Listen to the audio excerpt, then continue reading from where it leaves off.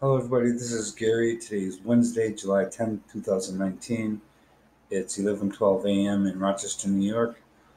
Um, today, I wanted to talk about the issue of vaccines. Um, I already did a video saying that vaccines don't cause autism or cancer, and they don't. There's no peer-reviewed studies to support that at all. Um, and peer-reviewed studies are the gold standard of science to determine if something is false or true. Um, the question that I came across, though, is do vaccines, like for the measles and the mumps and polio and the flu, do they contain tissue from aborted fetuses?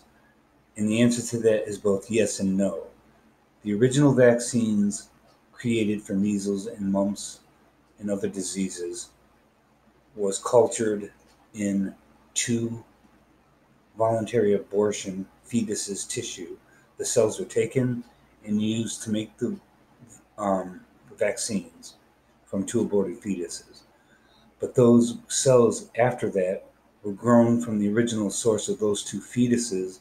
And so the cells that they use to make vaccines today are not from any more aborted fetuses. In other words, they grew the cells in the lab and made a supply of the cells that they used to make the vaccines. And there were no more aborted fetuses being used to make vaccines.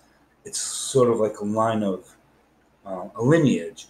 The original aborted fetuses had um, tissue that was used in producing the vaccines, but that supply of tissue was simply grown in the lab over and over again to have a supply of fetal tissue that isn't coming from any new abortions it was only two or three original abortions and the tissue that came from that that they were using to make vaccines. So vaccines do not cause any recent.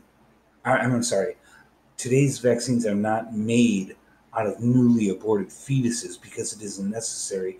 They have a supply of fetal tissue that they simply grow in the lab and made a large supply. So there's not they're not using aborted fetuses to make vaccines. They're using the sending the descendant cells from two or three original abortions.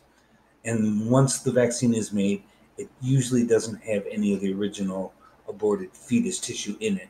And if it is in there, it's harmless and it doesn't cause autism and it doesn't cause cancer.